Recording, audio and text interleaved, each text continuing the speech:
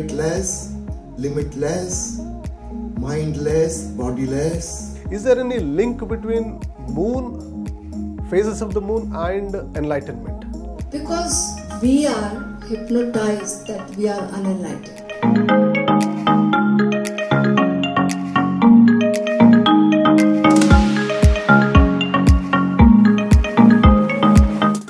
Why the word enlightenment is mostly used only in Jainism and Buddhism and not What we think as contradictory, they are really complementary.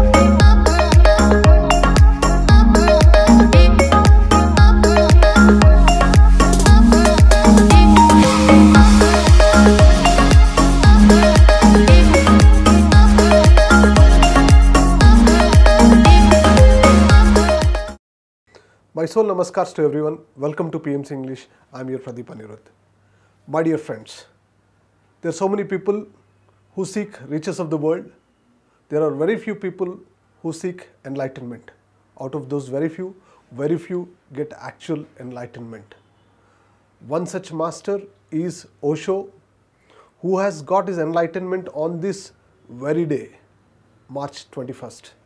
And today we have two very special guests in our studio who are closely associated with Osho.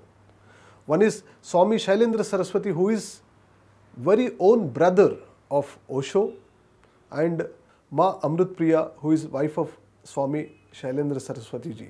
Swami Shailendra Saraswati ji was a medical doctor. He also worked as chief medical officer for Orient Paper Mills and got his own enlightenment and founded an organization called as Osho Fragrance and had been sharing his wisdom. Ma Amrit Priya has done her masters in philosophy and Prabhakar in music. She has released 40 plus albums. On this special day of Osho Enlightenment, we will know their views. Namaste Swamiji and Mataji, welcome to PMC English.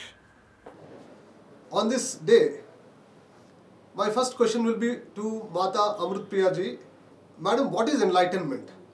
Let us consider two dimensions. First one is usual meaning. In ordinary language, enlightenment is the knowledge of some object or making someone understand something clearly. Spiritual meaning of enlightenment is knowing oneself. It is not knowledge about outer object, but subjective awareness of one's own being, Atmagyan or self realization is a better word for it. We can call it Buddhahood, which means awakened ones. When the spiritual sleep is over, normally we are identified with ego, which is our false self. This identification is spiritual sleep. In Japan, Zen master tell that their disciple to know your original face. Just know your original face. When one knows real self, his false self disappears. Just like the dream disappears when you wake up. He becomes egoless. That's why Gautam Buddha calls it anatma, no self. The moment one becomes enlightened, he sees trees standing silently in enlightenment and the moon brilliant in enlightenment. Your enlightenment makes you a universal consciousness. You are no more separate. And the enlightenment and this entering into the oceanic consciousness is enlightenment. Same is the meaning of the word Osho. The oceanic experience. Madam, I have one more question. Is enlightenment a gradual event or it's a sudden event? It just happens like that and you get enlightened. The question of either or is not relevant because it can be explained in both ways. Let me give you an example. If you keep on warming water gradually, starting from room temperature, after a while it reaches boiling point. Evaporation happens at 100 degree. Now tell me if steam formation is a process or an event. Both approaches are okay. Standing point are possible. Both approaches are okay. They are not contradictory but complementary. Like if someone is sleeping and he just woke up, somebody can say he suddenly woke up, but the whole night while he was sleeping, the process of waking up was happening simultaneously. Without sleep, he cannot wake up. For 4 5 hours sleep, 8 hours sleep, he will wake up. Somebody sleeps for 6 hours, somebody sleeps for 4 hours. But there is a process for sleeping. While he is sleeping, there is process simultaneously going on of waking up. So when one sees, and he will say he suddenly woke up. But if you go deeper, you will find the process was happening together with sleep. So, I would like to add one more example Sure. from the my medical background. Uh, normally, we think life and death are just opposite to each other, and death happens just in a moment. We say that person died on this date at this time, this particular moment. But it's not true. The moment a baby is born, 5000 neurons, the brain cells start dying every day from the very first day of life. By the age of 60 years, almost 20% of the brain has disappeared. By the age of 80, almost 25% of brain has disappeared. 5000 cells dying every day. Now, the brain is unable to sustain the bodily functions and the person dies. We can say death happened in a particular moment on a particular date, but we can also say it is a gradual process which started since very birth, from the first day of life. So, to me, the life and death both are going parallel, just like the railway track. Similarly, we can say about enlightenment, it is a gradual process and it is a sudden event both simultaneously. Life is mysterious. What we think as contradictory, they are really complementary. Okay? Can everyone be enlightened? If everyone can be enlightened, why so many people in the world are missing this beautiful experience of enlightenment? Definitely yes. Everyone can be enlightened. But nobody wants it actually. Very a few maybe wants. It happened in Buddha's life. It happened in Buddha's life. One scholar came to him and he asked him mm, Buddha, Bhagwan, you are teaching for so many years nirvana and practicing uh, meditation for everybody with them. What happened? Did everybody get enlightened? Peace has come to their life. Are they blissful? They have got, they have achieved. The Buddha said, he gave no answer, just he gave a piece of paper to him and he told, just go to village around and go to every house and ask everybody what they want, what they really want, note it down, what their wishes are. He, he just went around the village, around the city to every house and everybody said, whenever he asked, I want this, I want that, I want a big land, I want a big house, I want a beautiful woman, I want a, uh, a child, whatever. Many things they wanted and they wrote it. and he just brought, he collected the notes and he brought it to Buddha. And Buddha just read it in front of him and then said, See, nobody wants enlightenment, nobody wants nirvana, nobody wants peace. So, what they want, they are getting. So, what you want, you get it. The same happened in uh, Sri Lanka. Buddhist monk, a bhikshu was dying. He was on his deathbed and he just called his disciples and he said, Tonight I am going to leave my body. If you want to experience nirvana, enlightenment, if you are ready, just come with me. And raise your hands. Nobody raised his hand. Everybody was just looking at every, everyone's face, each other. So there was only one man who was raising his hand, and then he asked, Bhikshu asked, Okay, are you ready? He said reluctantly, No, I am not ready now, but please tell me the quick way of uh, realizing the enlightenment. And I will be, I will be definitely, I promise you, I will practice it. But right now I have got so many, so many responsibilities. I have to finish these responsibilities. After that, I will certainly, I am so hungry for it and I will do it, whatever you just tell me. Bhikshu laughed. He said, The whole life, same was I teaching. I was just teaching the same things. What else I was saying to you? I was showing the path of enlightenment. Now, so nobody wants it actually. Even somebody says, I can give you now. You want Bhagwan? We don't want. Our priorities are other things. If we get a good car, then I will want bliss.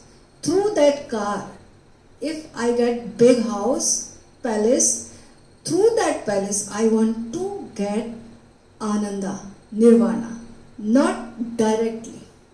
Swamiji, why do people go with material possessions?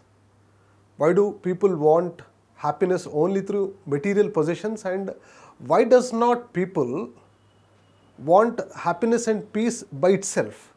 Well, when the child is born, all his needs are fulfilled from outside. All his sense organs, eyes and ears, they look outwardly, listen from outside. He can sense, smell, taste. He can get nourishment from outside. Whatever he needs, his needs are fulfilled from outside. Naturally, he becomes attached to the people, to mother, to father, to brothers and sisters, and then toys, and then friends, and he becomes more and more and more extrovert. And our whole education system teaches how to be ambitious, how to be successful, how to earn money. These things are needed. Of course, money is needed, house is needed, clothes are needed, food is needed, care is needed, love is needed. These are all needs. These are fulfilled from outside. Consciousness inside has no needs. It does not need food. It never becomes thirsty. So, outside there is always urgency and emergency. You have to rush, you have to find this and you have to find that. Inside there is no urgency. So that's why we become more and more extrovert. We forget that anything like inside exists. So that's why we become attached, in a way addicted to the outer world and we forget that there is an inner world, an inner treasure of peace and bliss. That's why we keep on missing it. That's the reason. Got that, Swamiji? Swamiji, Ma Priya madam has used a word, subjective awareness. It's a beautiful word. And uh, in this context, Osho also said that enlightenment is our very own nature. So this question is for madam. Madam, if enlightenment is our very nature, so why do people have to do this sadhana for realizing it? Yes, it is true that enlightenment is our very, very nature. But still, we have to do sadhana because we are hypnotized that we are unenlightened. so, get rid of this hypnosis. It is all sadhanas are kind of dehypnosis. And when we are dehypnotized, so suppose you you are at the home, you are in the home, and you are just uh, feeling and thinking that you are out of the home, Dreaming. dreaming it. So when you wake up, there will be a process. Somebody, somebody will put water on you. Somebody will put alarm to you because you are just crying and weeping in the dream that I am away from home. I want to meet my uh, near and dear ones. I want to go my home. I am missing my home. So somebody will bring so many devices to wake you up. So this is sadhana. Okay. Thank you, Mahapriyaji. Swamiji, I have a question for you now. So it is suggested that people do full moon meditation and some people also do new moon meditation. Is there any link between moon, phases of the moon and enlightenment? Yes, there is some relation between the two. Uh, we know that on the full moon night, the earth, sun, and moon are in a straight line. From one side, the sun is pulling, from the other side, the moon is pulling. Of course, the mountains cannot move, they are very solid and heavy, but the liquid water starts moving. There are tide waves in the ocean because of this gravitational pull. So somehow the full moon night has effect on sea. Our body is almost 70% water. So we have some kind of pull. It is something special happens on full moon night. It is not a coincidence that Gautam Buddha was born on full moon night. He became enlightened on full moon night and he also died on full moon night. There is some logic behind it. I would like to tell you in the West, some scientists were making a sleep lab underground. So many volunteers were invited from different continents, from different corners of the world to have study on the human sleep pattern. And what they found out after three months of experiment, that people sleep average 20 minutes less on full moon night compared to no moon night. Makes difference of 20 minutes. So this is something about the physical the physiological sleep. But the same thing is applicable to the spiritual sleep and spiritual awakening something mysterious happens in full moon night and it is easy to become awakened so the people who are doing meditation some sadhana it is quite possible in the full moon night they will reach to the climax. The moon is pulling something upward. The energy starts flowing upward. That's why. Thank you, Swamiji, for that answer. Swamiji, I have one more question. It was told that Osho was born almost enlightened. So, do you think it was the effect of his past lives that he was born almost enlightened? And also, it was told that Osho had to wait for hundreds of years to get a proper parent for him to be born. So, how are these two related? Yes, this is true. As we have already understood, warming up of the water is a gradual process and evaporation is a sudden process. So something similar happened in Osho's past lives. He was meditating and meditating since long, long, long. And in the past life, which was about 700 years ago, he died three days before enlightenment. Something was coming to the peak, to the boiling point, to the 100 degree. But somebody killed him.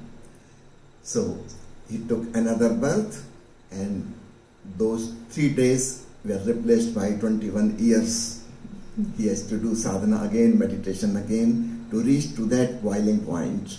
So it is a contribution from the past lives, our past practice of meditation that we go ahead we move further on this spiritual journey. The same thing happened in Osho's life. So he was almost enlightened, just a little bit. We can say he was on 99 degree, very close to boiling point, and one more degree, and he evaporated. Okay. Swamiji, uh, you said it was only three days before enlightenment that he had to vacate his body in his past life. If he would have lived those three days and got enlightened, would he have chosen the human birth again? So, does a person has human birth or does a soul has human birth after enlightenment? It is possible, and it is the freedom of the enlightened soul whether he wants to get birth again or not. So normally we take birth because of our desires. An enlightened person is full of bliss. He has no desires because desires are born out of misery. When we are suffering, we want something better. If I am poor, I want to be rich. If I am already rich, I cannot desire for more richness. That thing is finished. If I'm unhappy, I want happiness, I want joy, I want bliss. If I have not received love, I am hankering for love. So these are our desires, whether it is for money our knowledge our prestige our love or anything in the world, more power or politics, whatever. So because of the unfulfilled desire, the soul takes birth because those desires can be fulfilled only as human beings. Now, what happens to the enlightened person who is in ultimate state of peace and bliss? He has become nishkam. He is free from all desires. But what happens to that energy which was involved in desire? Now it turns, it gets transformed into compassion. Now he wants to help others. So this is again a kind of desire to help others. Compassion is also desire. So people who are full of compassion, they can take birth again. So it depends how long their compassion lasts. they may take second birth again, even third birth. So I just mentioned you that somebody killed Osho in his past life. This was planned.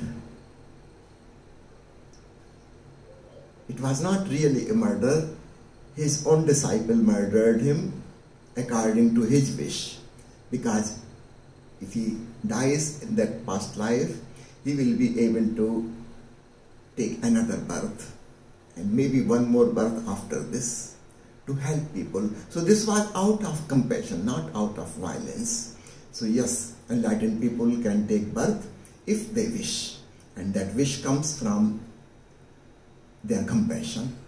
But remember, compassion also gets finished slowly, slowly, slowly. So at the most, somebody can keep it up to three births, not more than that. Got that, uh, Swamiji. A very beautiful answer. The reason why enlightened person may take a birth is due to the compassion to the fellow human beings. So that's what I got from what you have said. Swamiji, what is the difference between being an enlightened person and being a master? Uh, the difference is of compassion first and the art of expression second. These two things. There are there have been many people enlightened. They have become awakened about their own inner reality. They have reached to the climax of subjective awareness. Now it depends if they have practiced only meditation and not compassion, they will become enlightened, but they will not like to help anybody. They have not practiced love. There are some people who have been meditating as well as practicing loving. They are becoming loving, compassionate. They have the desire to help others. They will become the masters. So the second point is if there is art of expression, only then the enlightened person will become a master, a guru, a teacher, a guide to others. If he has not developed the art of teaching, He may be compassionate, but he will not be able to help anybody. It is just like somebody has done a post graduation and became a doctor. He did his PhD, wrote a great thesis, but this is not compulsory that he will be a good teacher. He has learned everything perfectly fine. But to be a teacher, something else is needed. That's why we give teachers training for people who want to become teacher. To gain knowledge is one thing, you have to be a good student, but to help others, you have to have some other qualities. So similar thing happens in enlightened people's lives. So the first requirement is they should be compassionate. They must practice love and meditation together. That's why Osho emphasizes on these two things simultaneously. So most of the people can become masters and the art of expression. How to help others, it is an art. One has to develop it. Okay? Swamiji, the very word enlightenment seems very deep and seems to be a synonym for joy, happiness, bliss, and for a highest state of attainment for any human being. Why the word enlightenment is mostly used only in Jainism and Buddhism and not in any other religion of the world? This is very important question and my answer will be little hard. okay? Jainism and Buddhism from there started an atheistic approach to spirituality. Before that, believing in God was compulsory to be religious. So, what we can do with God, we can only pray. He is omnipresent, He is omnipotent, He does whatever He wants. We can only persuade, we can praise Him, we can request Him, we can pray, we can kneel down. That's all we can do. We cannot do anything ourselves. We are not omnipotent. We are just small human beings. So before Buddha and Mahavira, prayer was the main thing in religions. Mahavira for the first time created a religion without the concept of God. And same thing Buddha followed.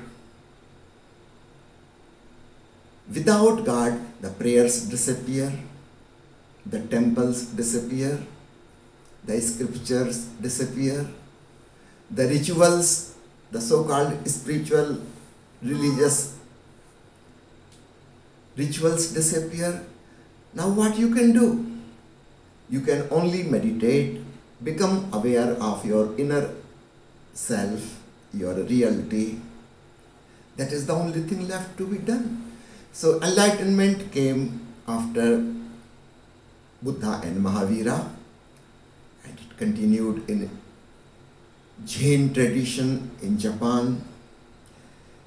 In other religions, in Hinduism, in Mohammedanism, in Christianity, in Judaism, the concept of God is against enlightenment.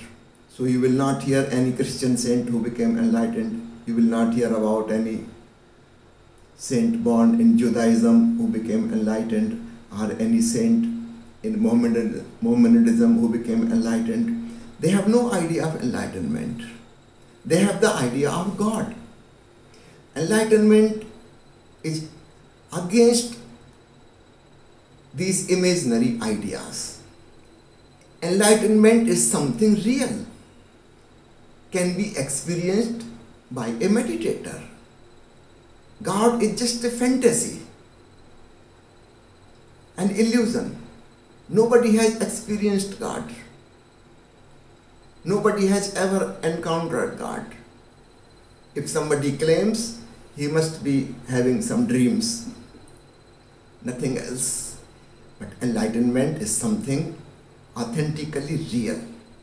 That's why in other religions we don't hear this word enlightenment, only in Jainism and Buddhism and later on in some other traditions which are offshoot of these two religions. Okay? Thank you, Swamiji.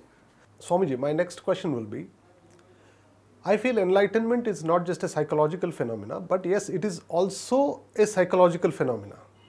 And uh, after Sigmund Freud, Carl Jung, there are so many modern psychologists who have proposed so many theories. Yet, modern psychology does not write or speak about the experience of enlightenment, which is a major human phenomena that has happened for many people. So, why don't they write or speak about enlightenment? Uh, let us understand the old scientists.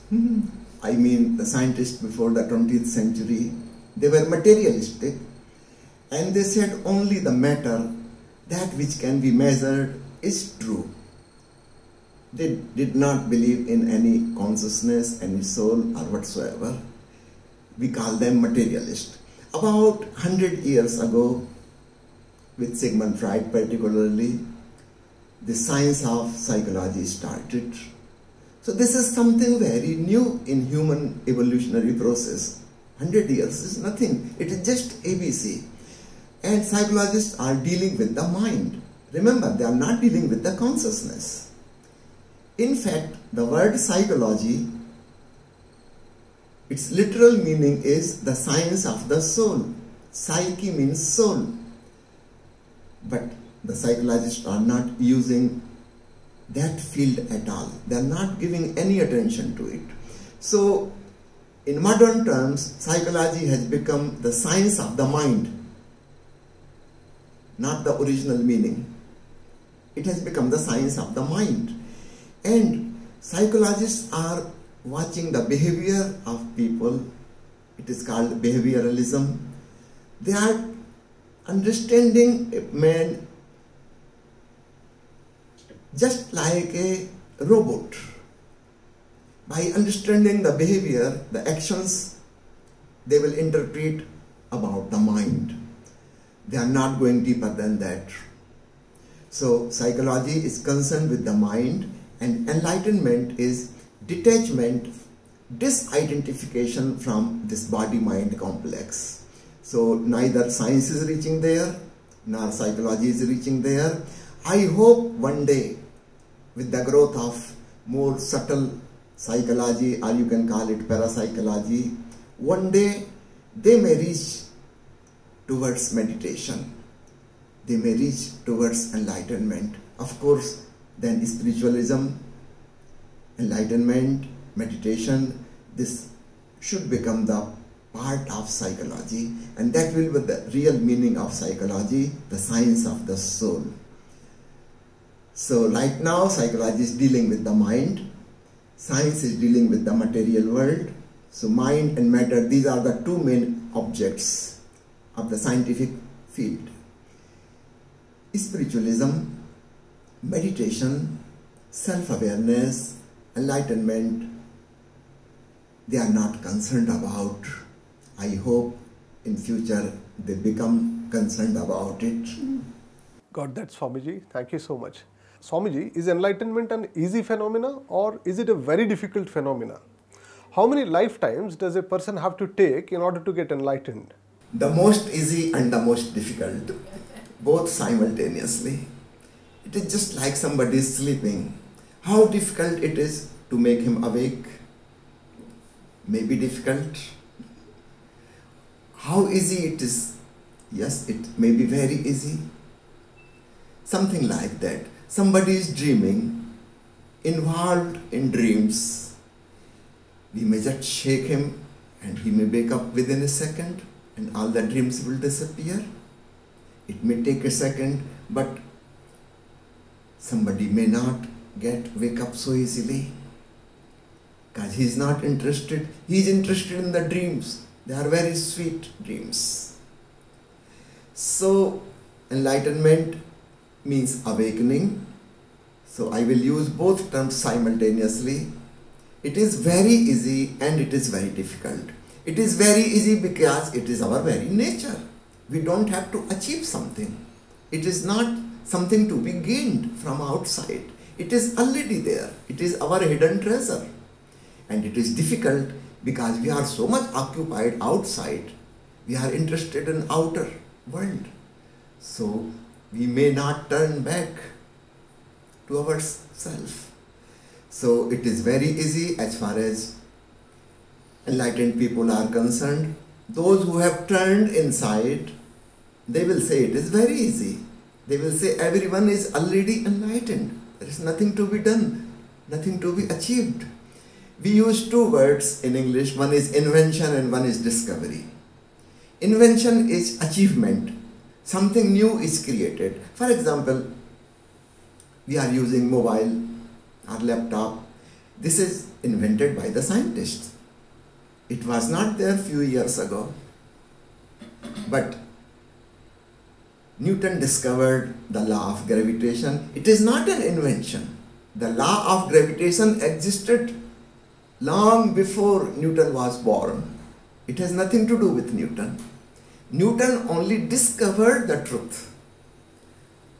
It was very easy. He was just sitting in the garden and a fruit dropped from the tree and he, within a second or even a fraction of moment, he realized some, there is some pull, some attraction. That's why the fruit is falling down. So this is a discovery.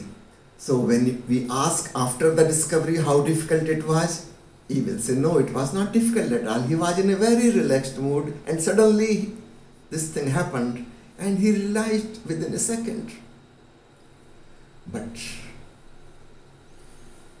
to calculate, to make the formula, to find out the relation between mass and the attractive force, it took many, many years. To express it on papers, it took long time. To realize it, it was very easy. Something similar about enlightenment. It is very, very easy when it has happened. but it is very difficult for people who are extrovert because they are not ready. They are interested in the outer world. How to make them introvert? The treasure is there inside their home the treasure of peace, the treasure of bliss, the treasure of light, the treasure of divine sound. It is there inside. But they have to discover it. It is not an invention. If it was invention, then it would have been very difficult and not possible for everyone. Only some genius would have found it. Super intelligent people would have found it. No, even a person uneducated person like Kabir can find it. A person like Nanak can find it. No problem. It is very easy. No education is needed. So it is very easy and very difficult, both things. Okay? Got that, Swamiji. So people with subjective awareness, they can find it easily. People who are only immersed in objective awareness may find it difficult. And Swamiji, Osho has spoken so many subjects he gave so many discourses, yet he did not write a book. And he must have spoken about his own enlightenment in one of his discourses.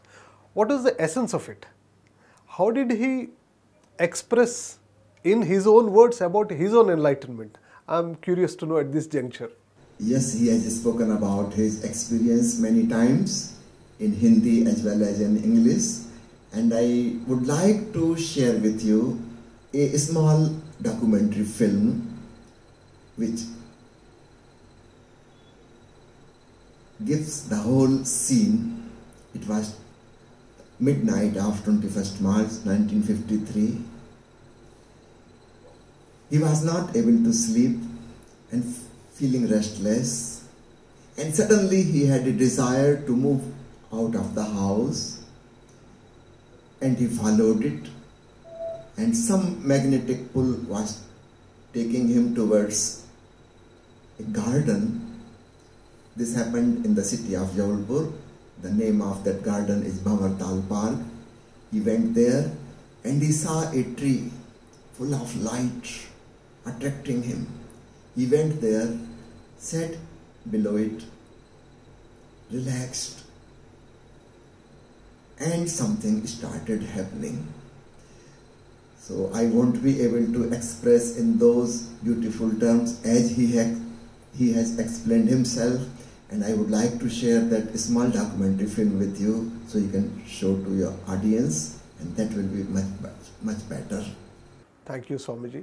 Swamiji, people use so many words for enlightenment. They use Satori, Sambodhi, salvation, liberation, Mukti, Moksha, Advait. So, do you find any difference in all these words or are all these different stages of enlightenment? No, these are not stages of enlightenment. These are different expressions of the same experience. Different aspects, you can say. Sambodhi means enlightenment, awakening. Bodhi means awareness, and Sambodhi means awareness of oneself. Advait means non duality. As Ma Priya has already explained, when a dewdrop falls in ocean, it becomes ocean itself.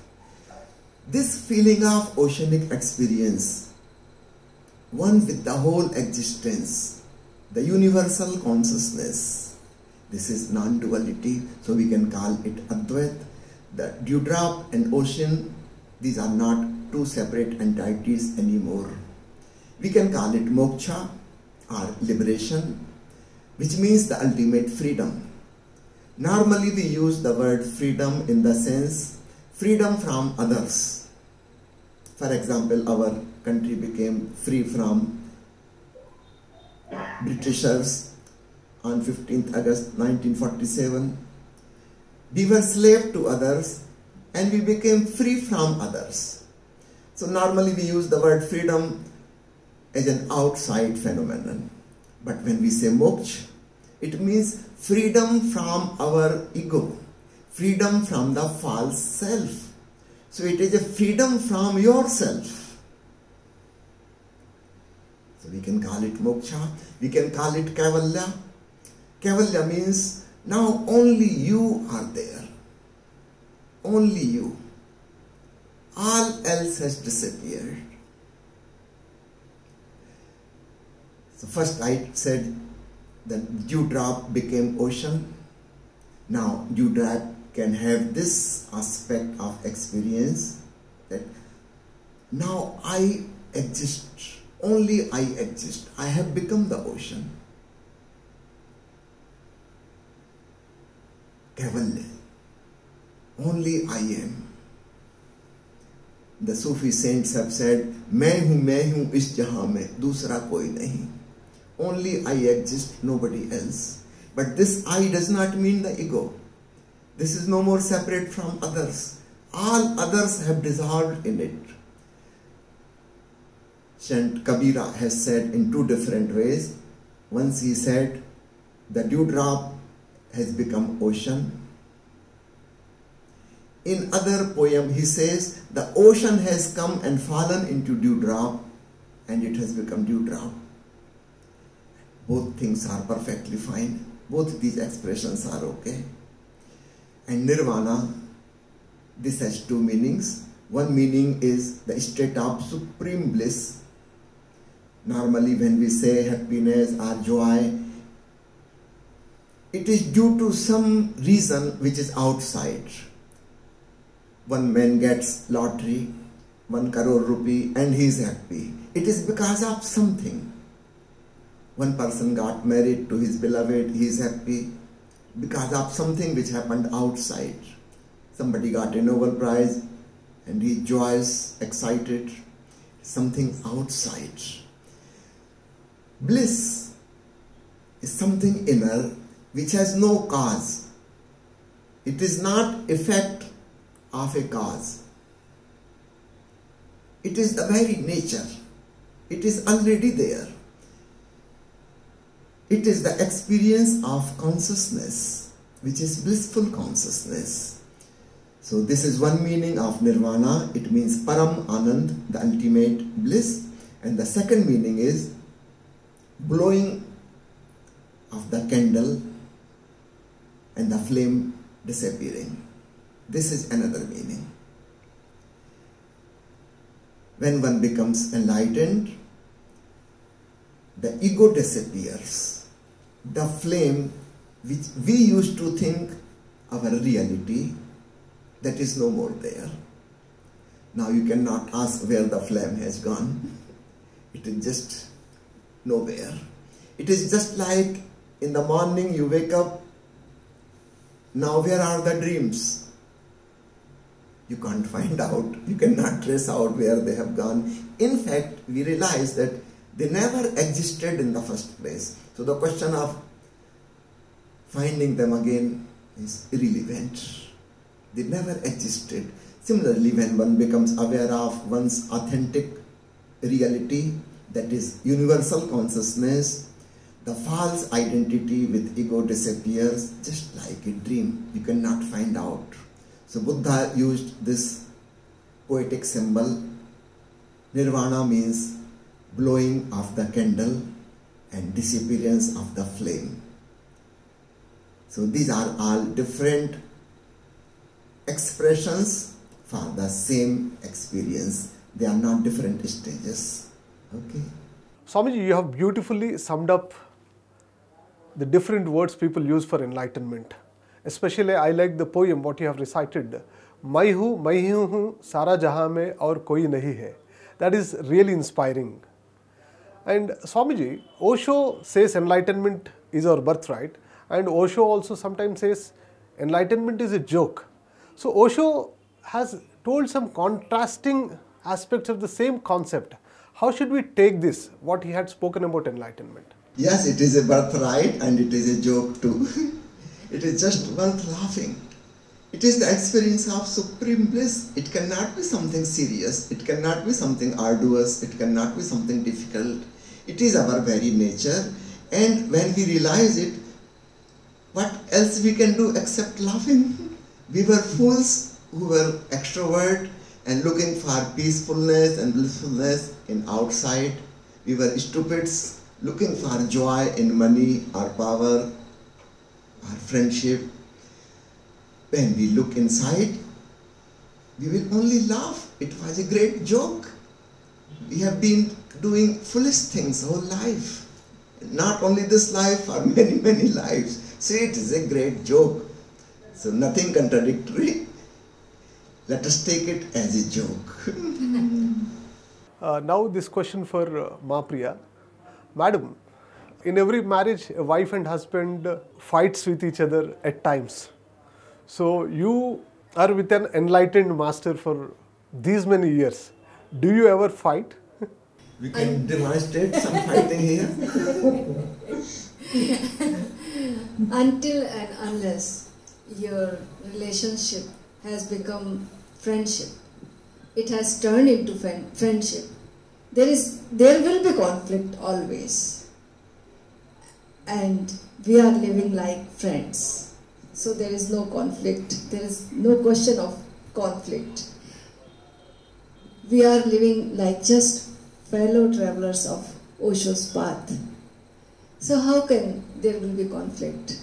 And the second thing, when you love yourself, then you can love others. Ah, great, great, great. And if you don't love yourself, how can you love others?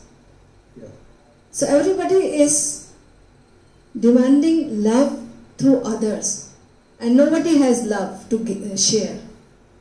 So, some first thing, only meditator can love because when you meditate, there arises love, and then you want to share it. And when you meditate, there is a bliss, and you this bliss want to be shared, and this is what love is. So, I just will want to tell, I would like to tell you and everybody that until and unless you are living like a couple, there will be conflict because there will be differences, so many differences. Your mind is different, body uh, likings are different, so many things are different. So, conflict is bound to be there. So, when you are in meditation, there is this acceptance for others. there is a respect for differences. This is how the life becomes so uh, musical. Beautiful way of expressing that, uh, Madam Ji. I have another question for you. So, April 1998, Swami Shailendraji got his enlightenment. What is the personal transformation that you have seen in him after his enlightenment? How, how different he is? I found him always enlightened, I would say. Okay. Always. I never uh, saw him unenlightened. So uh, I would not, I am unable to describe the changes because he was the same. He had no jealousy, he had, he had no competition, he had no, no outer world, you know, attraction. He, he was just enjoying, he was in himself and he was, he was, he used to say that I don't love you, I think, as, as much you love me. I used to tell him, Your presence is so loving, you don't have to love. You are enough to be with me. So I, I don't find any changes.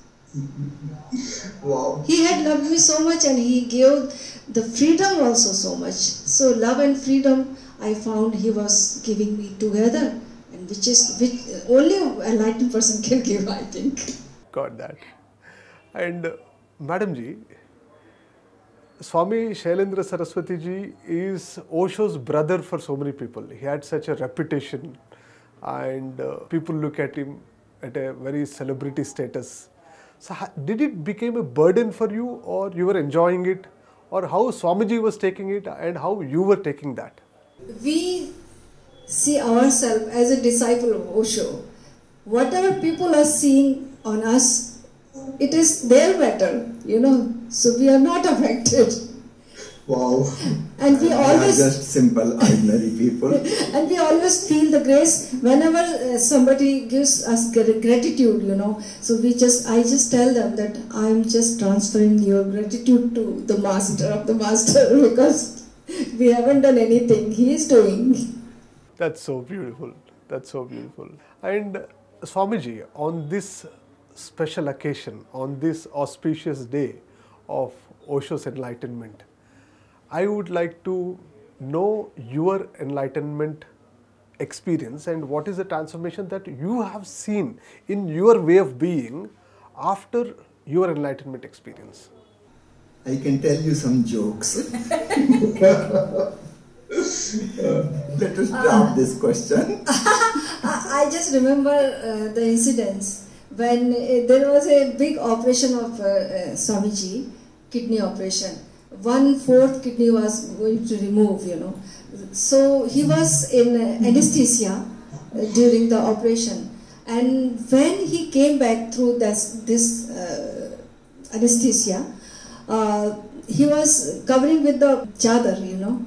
Uh, so the nurse said he was seeing the it was uh, just Ripples in the abdomen. wavering wavering everything. You know this chadar was like this.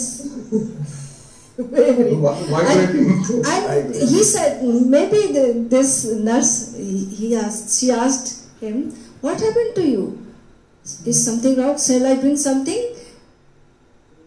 He said no i was just laughing. I just remember a joke. So when he came from through anesthesia out, he just remembered a joke. So I just wanted to share you this. Okay. So just uh, coming out of anesthesia, he was laughing. That's nice. That's so cute. so after enlightenment, you have more more humor. More jokes, more jokes. Recently, I have published on Amazon six jokes books Oh, filled with wow. Mullah Nasruddin's story. I don't write serious things. People are already so serious. They are already in tension. Right. So, jokes are very good. They are therapeutic. Wonderful. I know that uh, Madam Ji sings songs. She's trained in music. So maybe for the first timers they enjoy. But you have been hearing her singing all the time. How do you feel? uh, just now she has brought one beautiful song. This song is also French. Swamini Lanchal, one of our friends, Translate, please. has written it. Translation. Uh, it's difficult to translate. I think most of the people will understand Hindi Uh, song. it is actually difficult to translate ghazal in English. You know, हमको ओशो से मिलके मजा आ गया. We are we we are blissed out actually when we met Osho, when we touched Osho's feet and we were blissed out ज़िंदगी में सफ़र के कड़ी धूप थी। उनका दामन पकड़कर मज़ा आ गया। The life was full of misery but when we got contact with Osho life सुनाया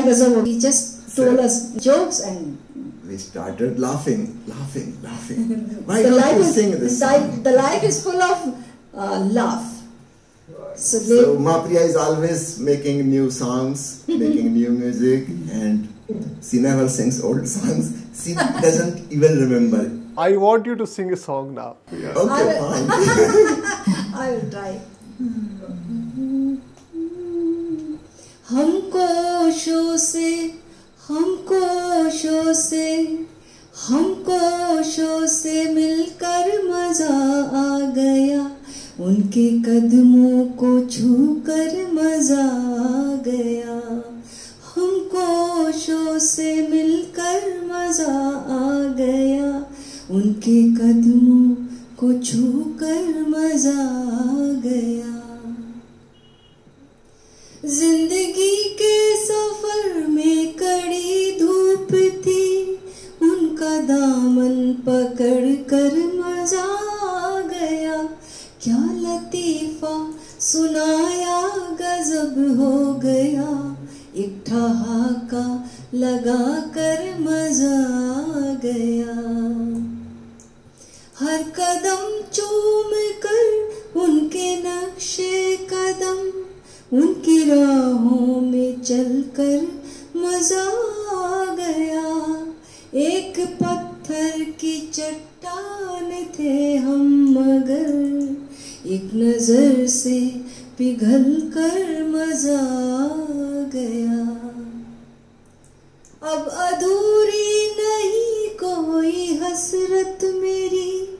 जी लिया आज खुल कर मज़ा गया। खुल गया हम परिंदों का पिंजरा हमें। आसमानों में उड़कर मज़ा गया।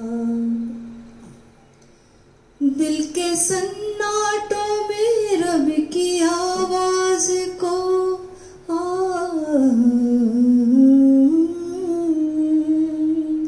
दिल के सन्नाटों में रब की आवाज़ को रूह में अपनी सुनकर मज़ा आ गया। एक कतरा थे हम नूर के ध्यान में। एक समंदर को खोकर मज़ा गया। एक समंदर में खोकर मज़ा गया। उनके यादों में लब पर हँसी आ गई। उनकी यादों में रोकर मज़ा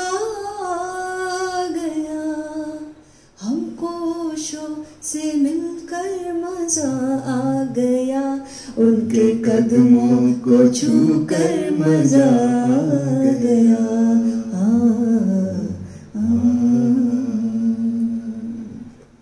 So wonderful, so beautiful, so blissful. हमको ये गाना सुन के मज़ा आ मैडम जी। वाह वाह wonderful madam ji what is your message to the people in the world on this very special day just don't take anything seriously. simple, superb, and striking message. and Swamiji, what is your message on this very special day? Okay, I have to give now something serious. okay. so I invite everybody to join our one week celebration program, meditation program starting from 21st. There will be two sessions every day, one and a half hour each in the morning, in the evening.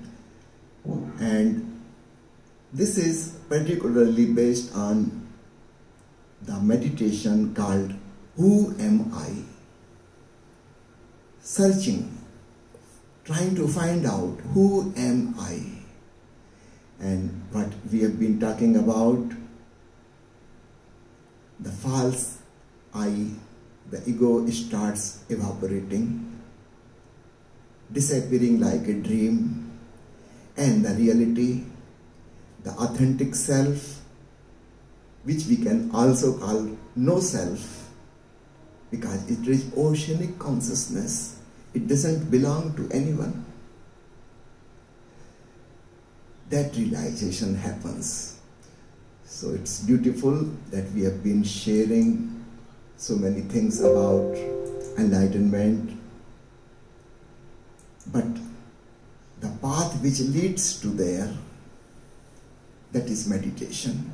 And one of the basic meditation approach is trying to discover who am I? Subjective awareness. And we start from whatever we feel ourselves, maybe the body, okay, feel the body. Be more sensitive.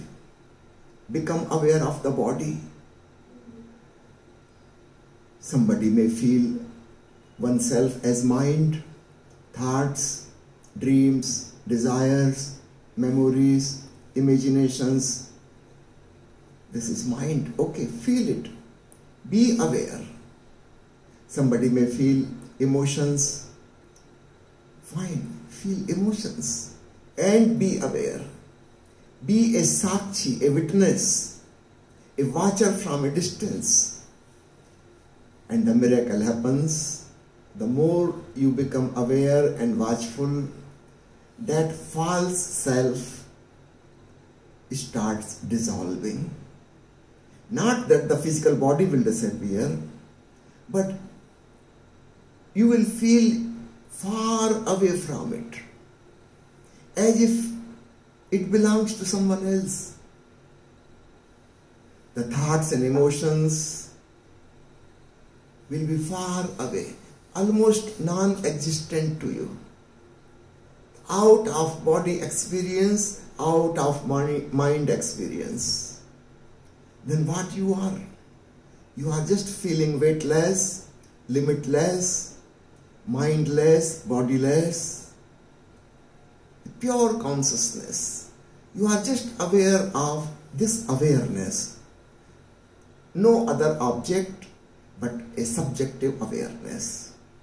So you can say this is my reality, or you can say there is nothing like me but only the reality.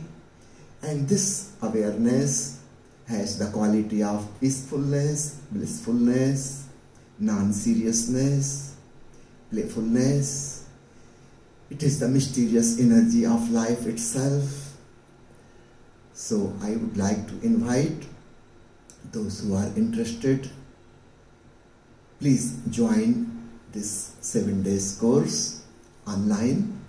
You can practice meditation in your comforts of your home maybe with your family, friends, you can enjoy and see how it is easy.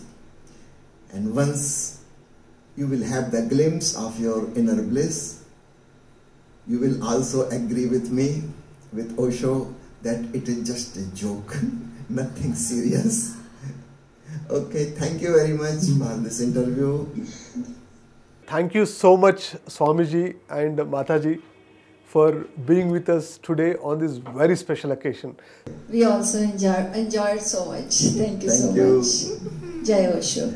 So, my dear friends, today we'll take this message of enlightenment into our hearts. Let's all seek our own enlightenment. We'll meet with one more master, one more day.